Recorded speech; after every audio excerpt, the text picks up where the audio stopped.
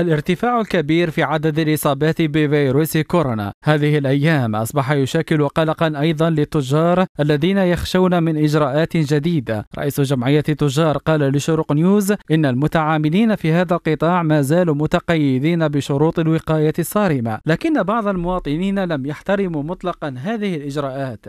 نعم للأسف لاحظنا ارتفاع في عدد إصابات آه،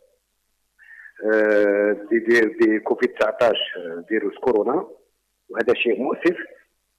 لذلك إحنا في الجمعية الوطنية للتجار والحرفيين نجدد التأكيد على ضرورة الالتزام بشروط الوقاية خاصة لبس الأقنعة الواقية واحترام التباعد الاجتماعي.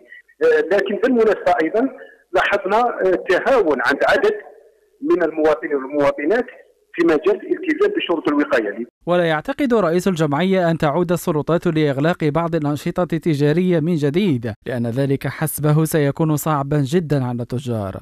آه، طبعا نعتقد أن الحياة الاقتصادية والنشاطات التجارية والحرفية غير مستعدة لإعادة الغلق مرة ثانية خاصة أن زيادة عدد عدد الإصابات آه، بكوفيد 19 ليست على لها علاقة بالمحلات فتح المحلات أو غلق المحلات لاحظنا عندما أغلقنا المحلات بعض المواطنين لا يلتزمون بشروط الوقاية الاصابات كان فيه أيضا عندما فتحت المحلات أيضا زادت حالات الإصابات. هذا يؤكد أن غلق المحلات أو فتح المحلات ما عندوش علاقة بزيادة الإصابات.